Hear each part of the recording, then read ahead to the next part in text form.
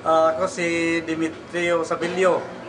Tagapuyo ako dito sa Pan Pantukan, Davao del No- Pantukan, Kumbal Province.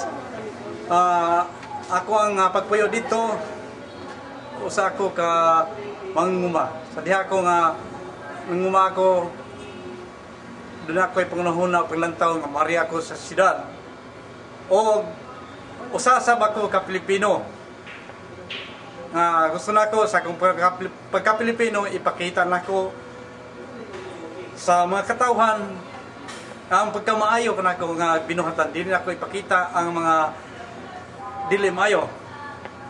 Ah, ang sa akong pagka Pilipino doon ako yung mga gagmay nga talento, doon ako mga trabaho nga mag usa ko ka karpintero.